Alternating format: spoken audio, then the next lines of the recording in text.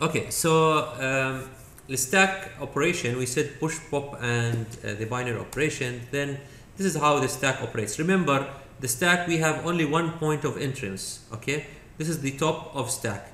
So you start over here. This is your base and this is your top of stack. So you keep putting things on top of the stack. When you move, you move from the top of stack. فبصفي عندك last in first out آخر the last thing that went in which was J J will go out the first so J then you enter I then when you pop you pop up J then you can do some operations on the stack this we are going to discuss inshallah in module number 4 now in terms of uh, operations and operands we have different types of operations and these operations are the data transfer operations مثلا المove instructions we have the arithmetic operations زي الاد والsubtract والmul والdiv division we have a logical اللي هم uh, and or and um, I think XOR and of course we have the not we have a conversions which will converge convert between the data types. We have input and output, we have system control, and we have transfer control. These are for jumps. The types of operands that we can use. Maratani, what is an operand? If I say move AX uh, 51, these are operands. فالاوبرند ممكن يكون register, ممكن يكون number, ممكن يكون character ممكن يكون logical data so we have different types of operands and different types of instructions or operations so during the to, to the end of the semester when we are talking about operands and um, operations لما انا باجي بحكي لك move when I explain the move instruction later on I will tell you which operands work with move you need to know exactly which is, what is allowed and what is not allowed when we talk about each operation which operands can be used and which operands cannot be used. Uh, I think you have already talked about addressing with Miss Alia in the lab but here I will explain it in more details. Addressing is the method of accessing the data. So addressing relates to the way by which ranges of locations in the memory or even the virtual memory are referenced. How do I access the memory طبعا we can it's not only the memory uh, only or I access the data some data is immediate other data is registered other data is inside the memory فمثلا I may have move AX 5 move AX 5 move AX 5 these are three different modes of operation when it comes to moving and each one will give you a different answer. So we want to discuss these operations and these addressing operations. So we have several addressing techniques exist but they all involve trade-offs. Remember we have limited size of um, data bits فمثلا if you have 16 you need to divide the 16 bits into opcode and two operands so these two operands if the opcode let's say it was 4 bits then you have 6 and 6 then the 6 bits you need to access use them to access memory which is not easy لانه 2 to the power 6 is 64 64 you can access only 64 locations which is not enough so we need to find a way to access the memory in in a better way. This is through the addressing modes. So the trade-offs between the address range and the number of memory reference between the addressing flexibility and the complexity of the address calculations.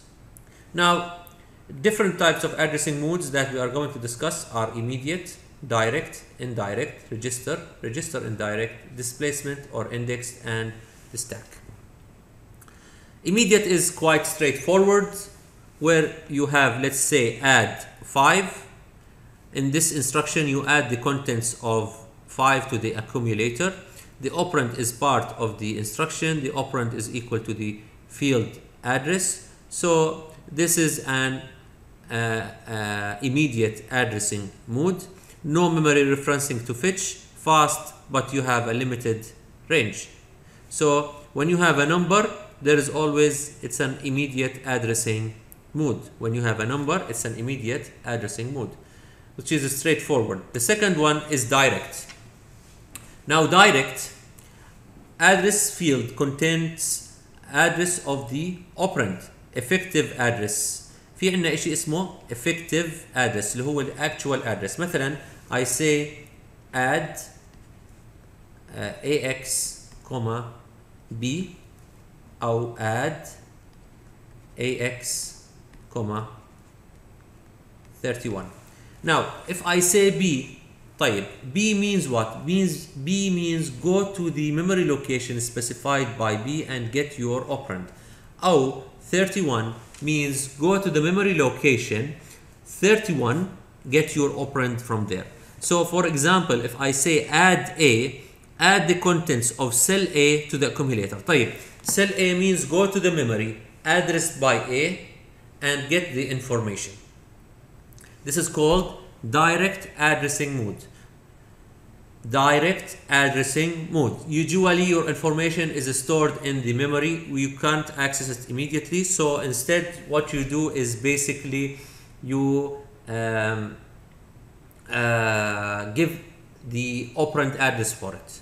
So you either do it like this or you do it like this. Whenever you see these brackets this is a memory location whenever you see these brackets this is a memory location so we have immediate then we have direct then we have indirect for example add